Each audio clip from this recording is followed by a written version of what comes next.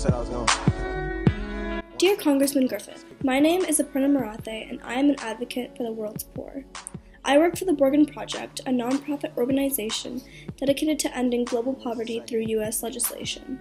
The reason I joined this organization is because, as an Indian woman who was lucky enough to be born in the United States, I have come to understand how privileged I am. It has become clear to me that no one should ever have to face hunger or poverty, and that this country should be doing more about it.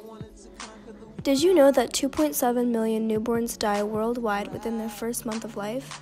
Infant deaths are extremely common in developing countries like India, where mothers lack adequate resources for their families and compensate for predicted deaths by having more children. Did you know that 161 million children do not attend primary school? Being denied the right to an education automatically hinders a child's likelihood of overcoming poverty and sets them on a path towards child marriage, human trafficking, or even death.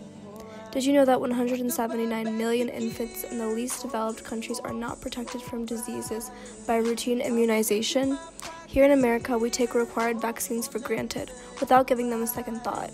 Yet across the ocean, there are children dying from easily preventable diseases. Our budget dedicates less than 1% of funding to foreign aid, even though issues of poverty and hunger are occurring at massive rates. We can't overlook this any longer. I am asking you to do something.